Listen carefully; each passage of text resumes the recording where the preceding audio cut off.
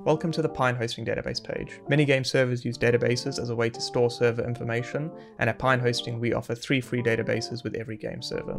All you have to do is head over to the databases page and then click New Database. From here you can give your database a short name. I'm just going to call this one Pine and then you can limit your connections. If you enter an IP here, it'll limit the database connections to only that IP. Generally, we suggest just leaving it blank to accept connections from everywhere. You can then click create database and it'll generate the database. This gives you a top-down overview of all the basic information, but if you click this eye icon over here, it'll give you the more important information. So from here, you can see the database IP or endpoint is over here. The port is on the right of the colon. You've got the database username, the password, and then MySQL and JDBC connection strings.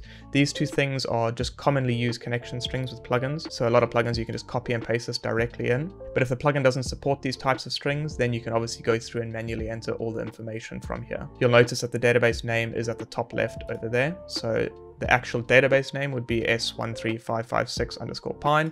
You can click to copy that. Then you'll need your IP, which is that, your port, which is 3306, the username, and the password. If you ever get your password breached or you just want to generally replace the password, you can click on rotate password, which keeps all the other information the same, but it just generates you a new password. We also offer a PHP PHPMyAdmin button. Essentially, PHP PHPMyAdmin is a database management software that we host on a website. If you click this, this will take you directly to PHP PHPMyAdmin. From here, you can log in with your username and password.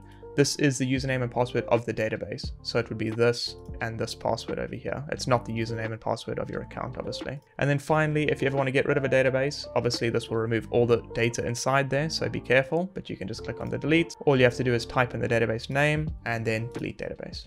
That should cover everything with the databases. As usual, if you need any further assistance, feel free to open a ticket with us.